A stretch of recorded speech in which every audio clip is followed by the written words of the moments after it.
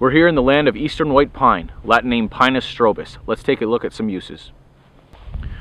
Here's a great key identification feature for the eastern white pine, the outstretched arms. They're windswept and you can tell wind direction that way. Uh, the prominent wind direction comes from this way and that's why they're all swept that way. Makes total sense. Um, they're, they're made famous by the group of seven painters and Tom Thomson in particular.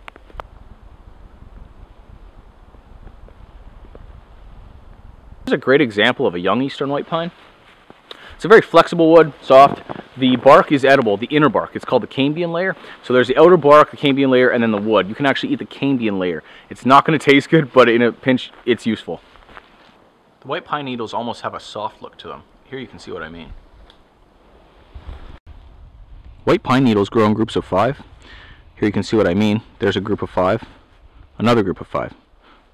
So that's not one, that's five each. Some pines have two, some pines are short, some pines are long. This one, groups of five and long. Here's a great example of two different kinds of white pine bark, younger and older. This is a younger white pine, obviously not as young as the one I just showed you, the sapling, but as it gets older, it starts to get a little bit harder. This one, way older than that and gets scaly bark on it, super hard. This one is smooth. And on examples of old pine, like this, you can see the bark gets very furrowed, and you can actually get your hand in there and pull it off. Or you take a knife and pry it out too. Sometimes it's hard to get with your hand. But the bark has a, bun a bunch of uses as well. You can take bark off um, of old trees to lay down on the ground so that you can build your fire on. You can actually make a, a handhold for a bearing, uh, for a bow drill here, uh, like a bearing block out of this. And you can also carve out of it. It's very, very soft. You can make bobbers for fishing, little uh, spoons, whatever, just sitting by the fire. My absolute favorite use for the white pine is fire. You can go from nothing to fire in a half an hour with no tools with just one tree. I'm not talking about eastern pine as a whole. I'm talking one specific tree.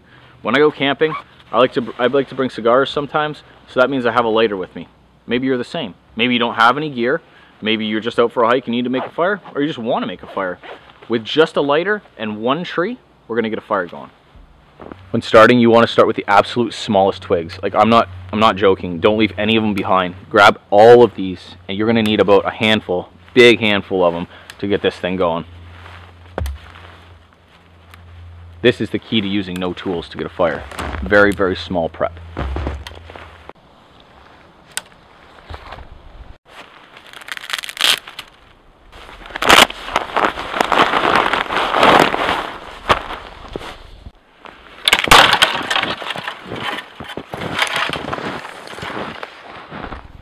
So a base is important. A good base is very important, especially in this snow. So that's what I'm doing now. I'm just getting thicker pieces and breaking them to make a base.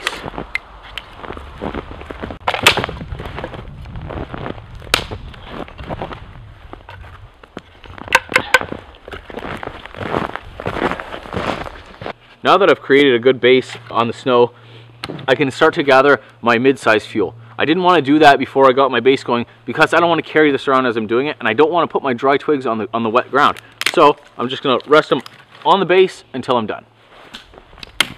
So just something I wanted to say, I'm doing this without, without gloves on and it's cold outside and your hands get real bitter.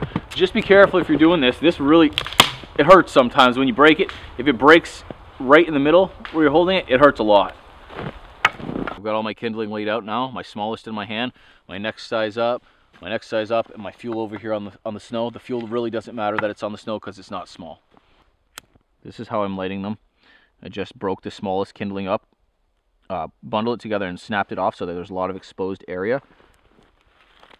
And with any luck, this bundle will glow, will burst into flames. I'm just trying to get the, the wind to take it in the right spot. So we're just basically trying to let this generate some heat and grow into a bigger flame. I'm, I'm putting it in towards the wind.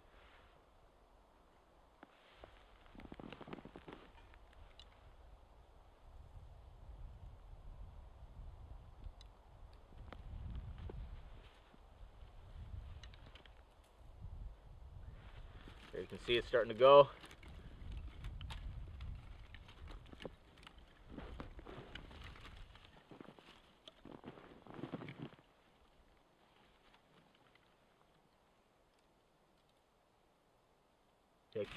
And then just pile all your sticks on right away. There's no need to pussyfoot around. You need to get a fire going. You